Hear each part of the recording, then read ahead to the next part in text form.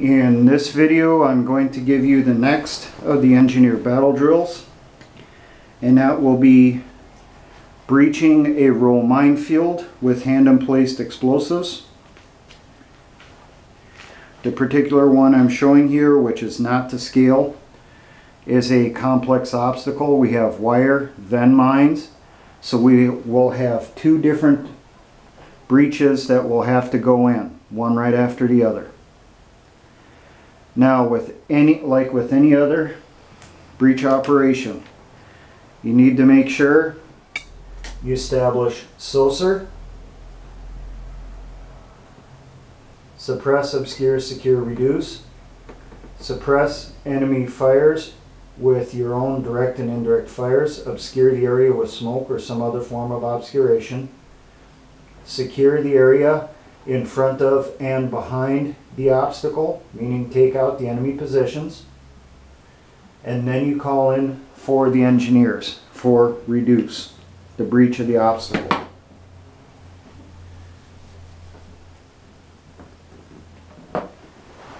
Now, it is always preferable that you bypass rather than breach an obstacle. That is the job of your scouts. If they cannot find a bypass or the one that they found leads to an obvious trap, then you're committed to having the breach. Your next step then would be mechanical means. So some type of breaching vehicle like an ABV, an assault breach vehicle, or a CEV, combat engineer vehicle or their equivalents overseas like a uh, Russian IMR. Behind that, you will have your mine plows, your mine rollers, and the engineer's MICLIC, mine clearing line charge. Now, if you don't have those assets, they're committed somewhere else, or you're not going to use them at this time, they're going to be neither needed further up, you'll have to do hand in placed. But always realize that hand in place breach is always the last resort.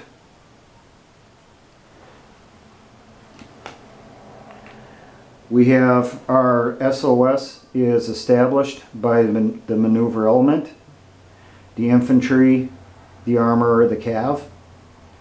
So the engineers are called up.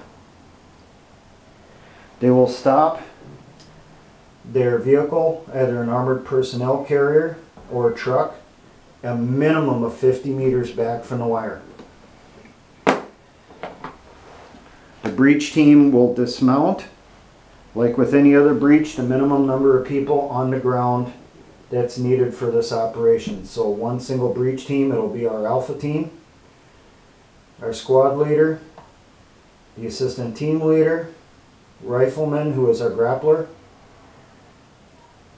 the auto rifleman, and the squad designated marksman.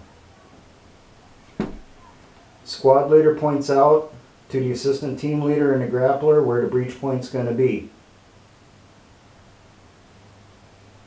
The grappler then tosses his crow's foot, left, right, then straight up the middle, and he keeps going up the middle till he gets that grapple hook into the wire. Then he tugs on the wire to set off any trip wires, mines that are connected to the wire.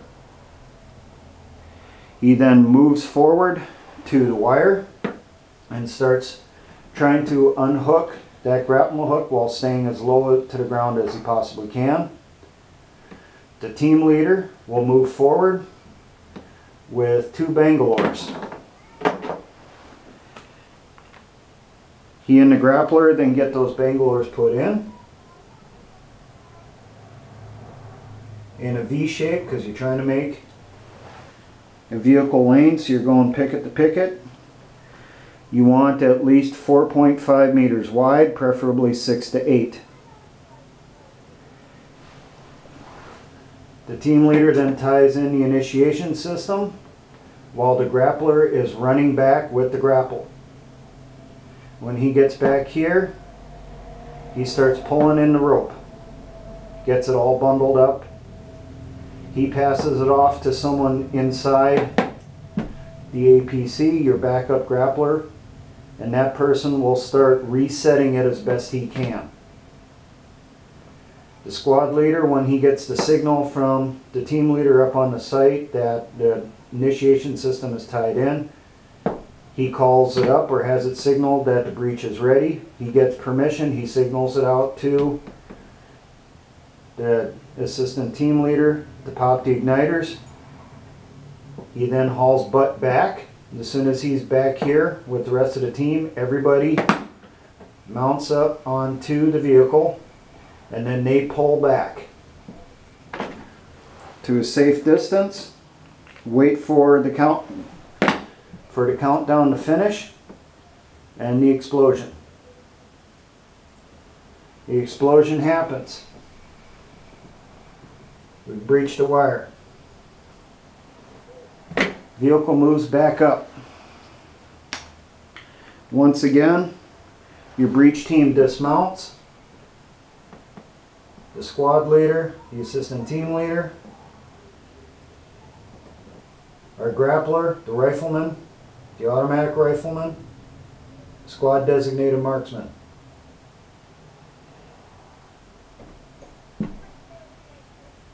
Grappler does not need to throw a crow's foot at this time. He moves forward to just short of the wire because he has not grappled behind the wire. So there's still the possibility there could be tripwires back here. The grappler then starts moving through.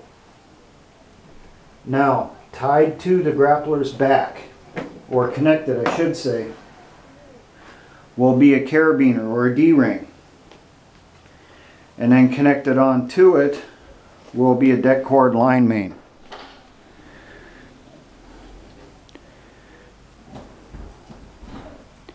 At a minimum, it should be a double overhand knot.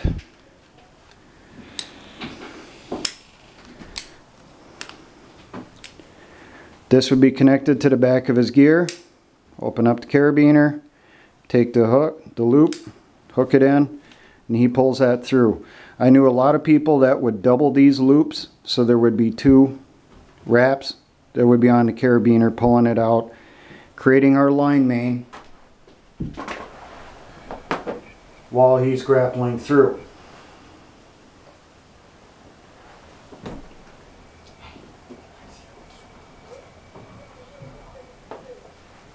Once he's past the rear row of mines, he stops, he signals back that he's through. You now have your demo team move forward, which would be your squad designated marksman and your assistant team leader. They will move forward all the way to the end. They will unhook the det cord from the back of the grappler. The grappler then runs back with that grapnel hook all the way to the vehicle, trailing the rope behind him, and he pulls it in when he gets to the vehicle. Now your demo team up here, while that's going on, they start putting in their charges. They put in their charges to the inside of the mines, meaning the side of the mine that's facing the line main.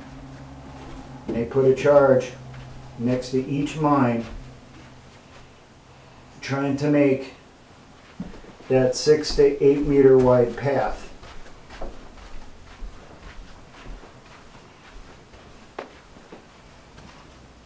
Their branch lines would get tied into the line main.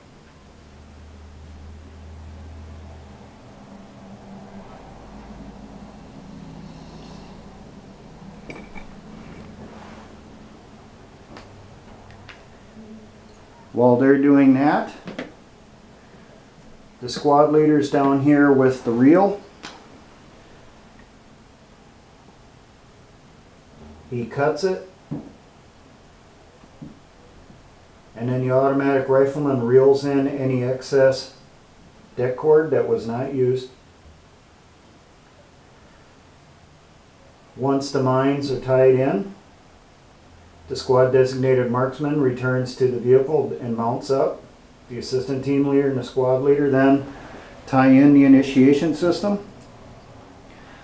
And they call it up. signal back that everything's ready. They get the uh, signal to pop the igniters, they pop it. They all come back, mount up on the vehicle, the vehicle pulls back while the igniters are burning. They do the countdown. Mines go off, creating our path.